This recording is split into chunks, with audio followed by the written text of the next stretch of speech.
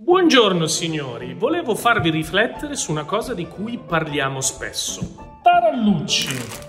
Premia in questo caso, ma vale per qualsiasi prodotto o per qualsiasi marca.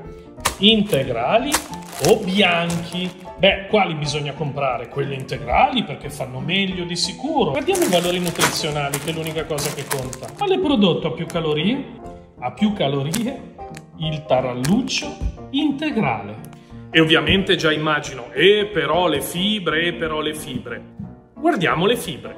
Una porzione, 40 grammi, di integrale ha 2,3 grammi di fibre. Una porzione bianca ha 1,36 grammi di fibre. Si parla per porzione di un grammo di fibra.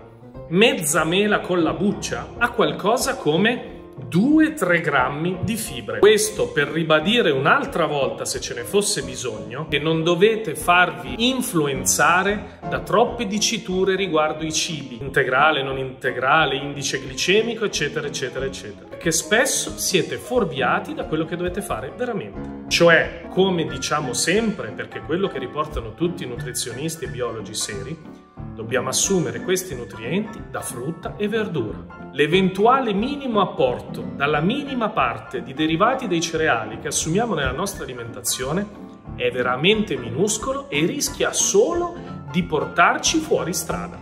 Esattamente come in questo caso, in cui avete sostanzialmente due prodotti uguali o quasi, ma il marketing degli ultimi anni vi porta a pensare che non sia così. Vi aspettiamo in fondo